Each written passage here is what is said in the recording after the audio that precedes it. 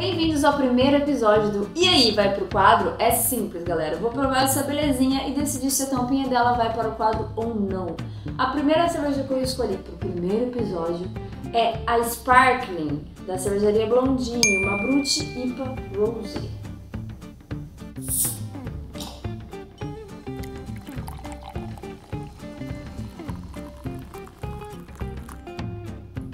Alta carbonatação, coloração rosé, vai adição de framboesa nessa belezinha. Porém, a formação de espuma dela não é persistente. Conforme eu vou falando, vocês vão perceber que a formação da espuma vai abaixando, vai ficar quase sem espuma nenhuma, sem colorinho nenhum. Agora vamos ao aroma. Notas de framboesa.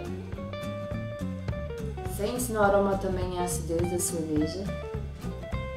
E um leve adocicado ao gole.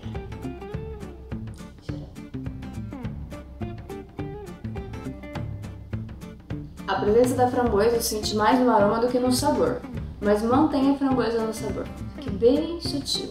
A sensação do primeiro gole você sente uma leve acidez, um adocicado, um pouquinho de caramelo, e no final, no retrogosto, que fica na boca é o amargor. Não é um amargor alto, digamos de baixo para médio amargor. O amargor está presente, mas ele não está tão evidente.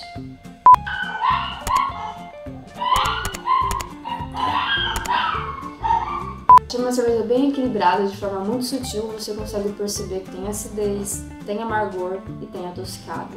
E tem um drinkability bem alto. E parece que tem 7.7 de teor alcoólico. A Bill ela tem 35. Uma boa cerveja a tampinha vai para o quadro.